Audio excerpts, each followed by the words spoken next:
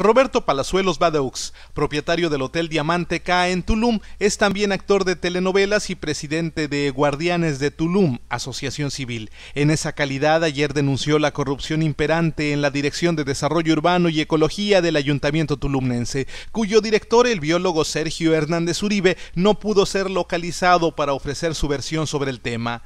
Hoy, el empresario hotelero y figura nacional del espectáculo insiste en que dentro del Ayuntamiento de Tulum hay focos rojos que atender, señala ahora el sistemático hostigamiento al turismo de parte de la Dirección de Tránsito Municipal.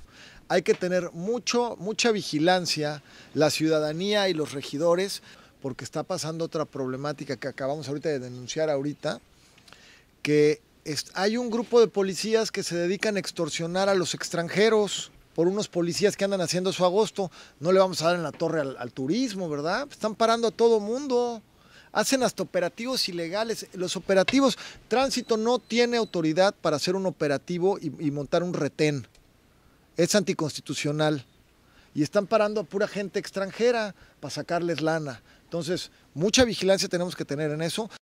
Por su parte, el director general de Policía y Tránsito, de quien repetidamente se ha señalado por parte de regidores y ciudadanía en general un pobre desempeño desde su llegada a la Comandancia General, lo que incluso generó por ello la primera rebelión de policías, negó la posibilidad de que en su corporación puedan existir tales irregularidades. No comparto la opinión vertida por el señor de Diamante K.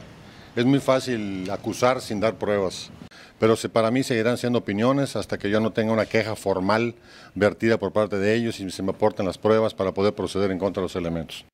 Reconoció, sin embargo, el director general de Policía, Tránsito, Bomberos y Turística que recientemente se realizó la baja de un elemento por ese motivo, al tiempo que desmintió haber sido convocado hoy mismo por el presidente municipal para explicar lo que insistió no es un problema.